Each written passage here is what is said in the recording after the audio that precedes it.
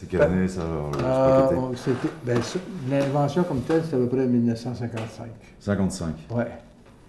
Euh, et c'est ça qui, est, qui a remplacé pour l'ONF les euh, magnétophones euh, optiques et puis euh, des, des trucs euh, très lourds, Très lourds, ouais. 16 mm perforés ou 35 mm, tout ça en magnétique. Donc ça, c'est la première machine, disons, portable, synchrone. Une des premières.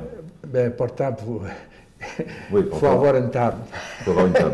C'est ça. parce qu'on ne va pas partir avec ça dans le cou. Non, non, évidemment. Non, Non, il faut avoir des euh, puis, euh, mais, euh, et, et le, ru- le ruban utilisé, c'était un ruban lisse, mais perforé. Et ça n'existait pas sur le marché. Donc, euh, le ruban passe là-dedans et cette ro- roue dentelée synchronisait, c'était lié au moteur. Et tout ça passait sur la tête d'enregistrement, la tête d'écoute.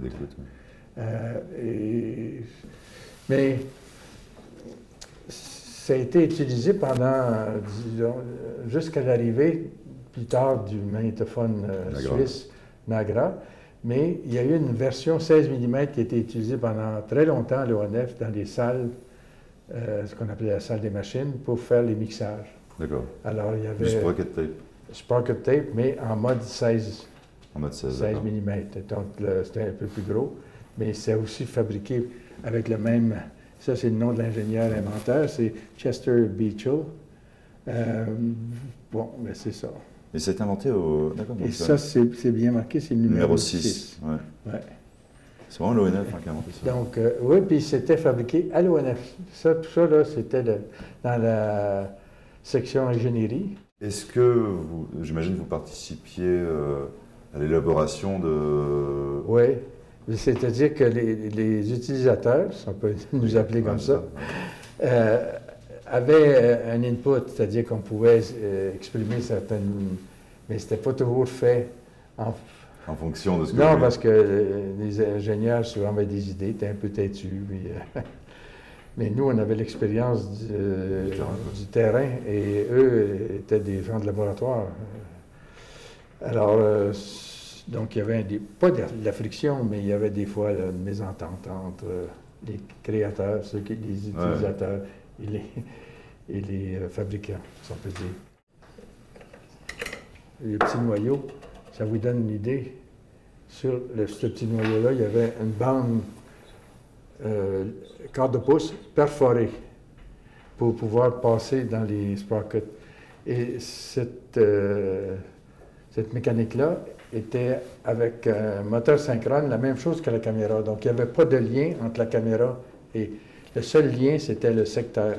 C'était la, branche. Parce que c'était le but ultime, c'était de ne pas être branché sur la caméra, de ne pas être dépendant, euh, d'avoir une liberté, c'est ça? Ouais, mais c'était aussi de, de pouvoir avoir un, un plus petit magnétophone, pseudo-portatif, c'est ça, avec une table. avec une table. Et euh, parce que si on, on regarde, il y a, il y a juste, Ça, je veux voir il y a l'amplificateur. juste, euh, deux entrées. Est-ce qu'on peut le... Oh, tu certain. Est-ce qu'on peut le poser comme ça ou... Oui, oui, oui. Bien. Ah oui, voilà. Ok.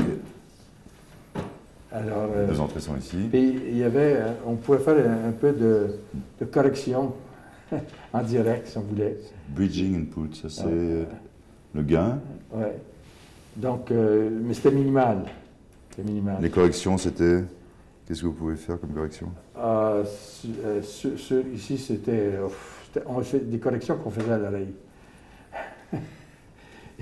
et, et là, il y avait, euh, je ne me souviens plus, bon, différentes façons de, euh, de pouvoir lire sur le, Sur le VU. Sur le VU, Donc tout ça, c'est des fonctions pour le VU. Ouais, ouais. Ok. Puis ici, vous aviez euh, l'enregistrement et l'écoute. Phone direct. ouais. Et le, ce qui reliait les deux, c'était... Ça c'est quoi, le courant? C'est quoi? Non, c'est pas le courant, le courant est interne. Euh, oui, ce courant-là était interne, on a vu le, Le, le fil dedans, Ouais. ouais, c'est ça. Mais euh, oui. c'était branché ici, là, on ne voit plus le. Il y a juste un petit bout de fil ici qui pend, là. Ok. Ah, Parce qu'il été manque. Oui, c'est ça.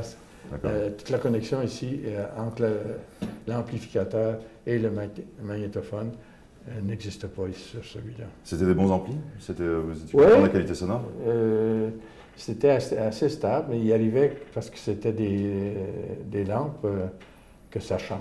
Les lampes, euh, il y avait des, des Oscillait, oscillations, ouais. puis euh, ça chantait un peu. Mais en général, oui, c'était. euh, euh, mais c'était pas pratique pour le, cinéma qu'on voulait faire. On voulait faire un cinéma euh, absolument libre, de, se déplacer, caméra et son. Euh, mais là, on avait des entraves, on était pris sur une table. Euh, C'est uniquement l'arrivée des magnétophones Nagra qui nous a donné cette liberté-là.